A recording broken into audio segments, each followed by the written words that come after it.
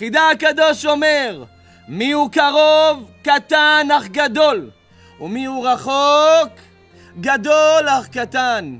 אומר החידה הקדוש, כך אופי האדם, כך היא כל התורה וחיי האדם בעולמו, בעולם הזה לפחות. אומר החידה הקדוש שקרובים אליך אנשים, יגידו לך דבר קטן, או יעשו דבר קטן נגדך, ויהיה גדול בעיניך וכואב.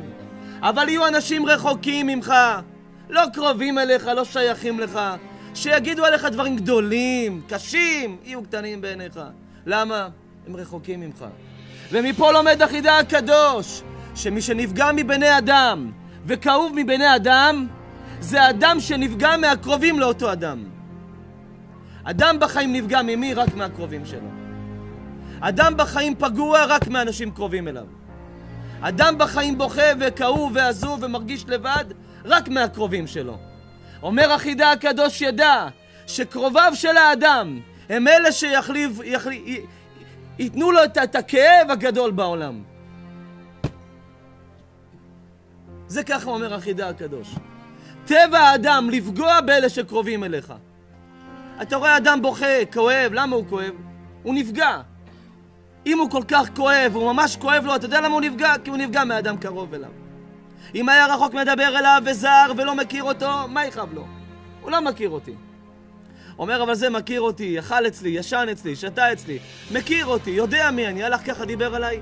זה קרוב אליי, זה כואב.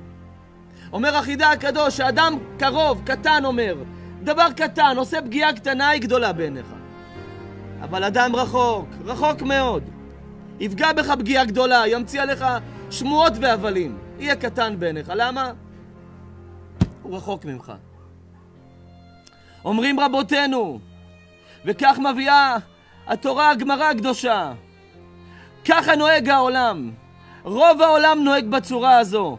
וככה כותב הבן איש חי הקדוש בספר חוקות הנשים. אומר הבן איש חי, קרובים עזבו, ורחוקים חיבקו. נהיה היום טבע באדם.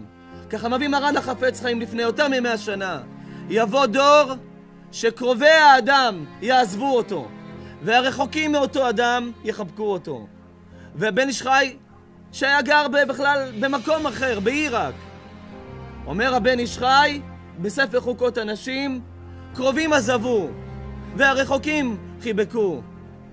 קח את עצמך גם בחיים. היה אמור להיות הפוך.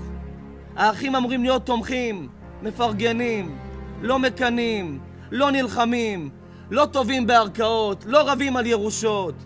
האחים היו אמורים להיות שמחים בטובת האח.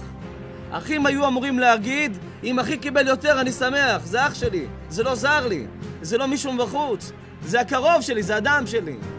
אומר אבל אתה תמצא בסוף הדורות הקרובים, עזבו, יעזבו אותו. ברגע הקשה שלו, ילכו ממנו. ברגע שהוא צריך אותם, יברחו ממנו. ברגע שהוא זקוק להם, לא יהיו שם בשבילו. מי הם? הקרובים שלו. עזבו, אומר הבן איש חי. הרחוקים חיבקו. מי יחבק אותו? אותו שכן שיראה אותו בוכה וישמע אותו כאוב, נאנק מכאב, יבוא ויגיד לו, אחי, בוא שב, תשתה, בוא תדבר, בוא, בוא, נחבק אותך. מי זה? לא הקרוב, הזר לך, הרחוק שלך. אומר רבן איש חי, ודע לך, זה יהיה בסוף הדורות. זה יהיה פניהם של בני ישראל בסוף הדורות. קרובים עוזבים, אבל רחוקים מחבקים. שלא נהיה מאלה, אומר רבן איש חי. שלא נהיה מאלה שאנחנו קרובים לאנשים, ובזמן שהם צריכים אותנו, אנחנו הקרובים נעלמים. הרחוקים ביותר בסוף, לצערי, הם אלה שעוזרים ומחבקים.